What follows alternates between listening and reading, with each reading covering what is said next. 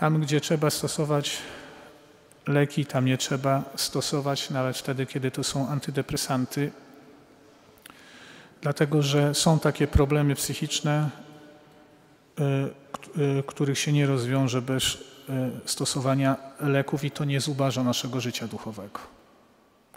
Tak? I to dotyczy czy leków na antydepresantów, czy już nie mówiąc antypsychotycznych. Dusza od tego nie zubożeje. Jeśli to rzeczywiście są choroby psychiczne, wtedy trzeba brać leki i to jest wyraz poddania się woli Panu Bogu.